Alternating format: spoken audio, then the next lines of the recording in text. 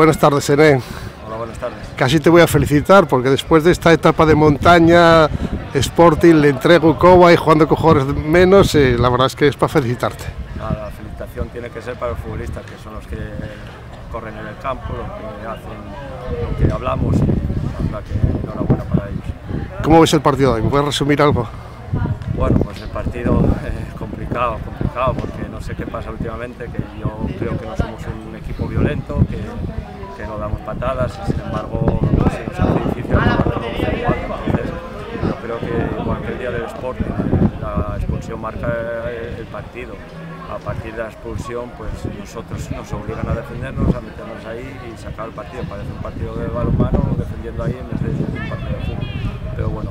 decía, felicitar a los futbolistas por el esfuerzo que, que hicieron y, y nada, desearle la mayor de la suerte a los jugadores. Muchas gracias. La verdad es que hasta la expulsión el partido estaba muy igualado y luego no os quedó más remedio que defender como podíais. Y defendististeis bien.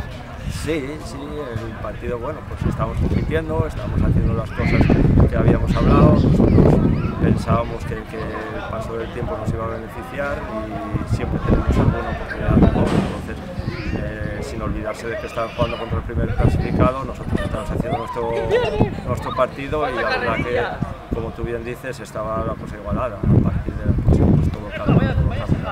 Bueno, pues gracias y mucha suerte en lo que queda de temporada. Ya no os jugáis nada, ni por arriba ni por abajo, pero bueno, segui Bueno, pero nosotros seguiremos compitiendo y, y partido a partido intentar hacer las cosas mejores y, y sobre todo felicitar desde aquí a la plantilla que, lo está haciendo mucha suerte para todos. Muchas gracias. No, competir sí que estáis compitiendo. O sea, no os va a influir que quede poco y que no os juguéis nada. Lo demostrasteis en los tres últimos partidos.